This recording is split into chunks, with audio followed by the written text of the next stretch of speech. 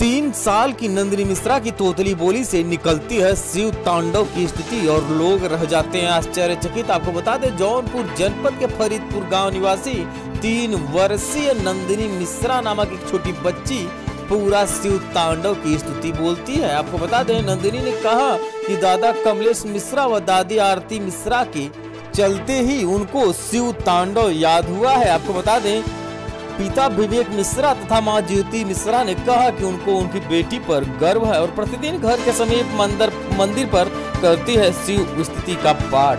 जौनपुर से PPC reporter प्रशांत पांडे के साथ अभिषेक यादव की ये रिपोर्ट।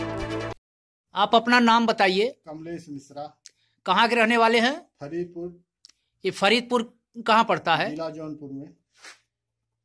ये आपकी क्या लगती है जो गोद में बच्ची है? पोती लगती है।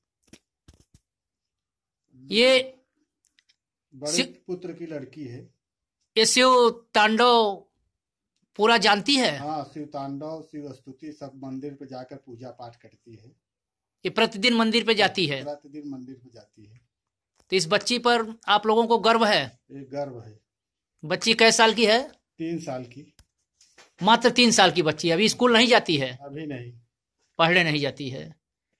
तो इसको आप लोग आगे पढ़ाना चाहते हैं अच्छे स्कूल में ले जा करके। हाँ हाँ। ठीक ओके। तुम शिव तांडव जानती हो?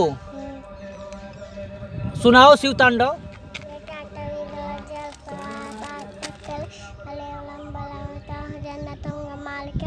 डमक डमक